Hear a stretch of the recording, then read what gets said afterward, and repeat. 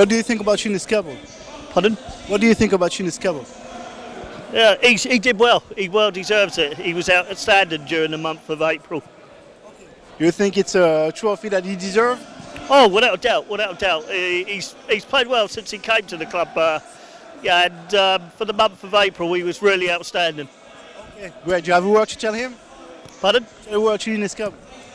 Uh, well, I hope Younes stays. He's one of our better players, so I hope he stays. Thank you.